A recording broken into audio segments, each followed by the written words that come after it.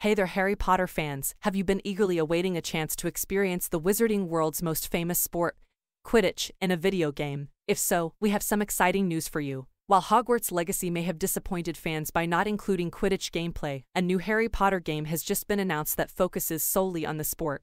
Harry Potter Quidditch Champions, developed by Unbroken Studios, is a multiplayer game that promises to deliver an exciting and competitive Quidditch experience. Unlike Hogwarts Legacy, which is a third-person RPG, Quidditch Champions will be solely dedicated to the sport and feature multiplayer gameplay. The game's announcement has been a breath of fresh air for fans who were disappointed by the lack of Quidditch in Hogwarts Legacy. However, it's important to note that this new game is not planned to be a part of Hogwarts Legacy, but a standalone title. The absence of Quidditch in multiplayer modes in Hogwarts Legacy was indeed disappointing.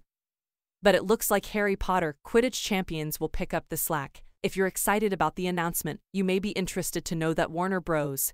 has opened up the game for playtesting. You can sign up now on the Quidditch Champions website for a chance to participate. The game will be available for PC and consoles such as the Xbox One, Xbox Series X, S, PlayStation 4 and 5, and Nintendo Switch. Although it's unfortunate that Hogwarts Legacy won't receive a Quidditch DLC, the announcement of Harry Potter Quidditch Champions will surely excite fans of the wizarding world. The standalone title will give players the chance to experience the thrill of the magical sport in a competitive multiplayer setting, making up for the absence of Quidditch gameplay in Hogwarts Legacy. So, gear up your broomsticks, get ready to soar, and sign up for the playtest of Harry Potter Quidditch Champions now.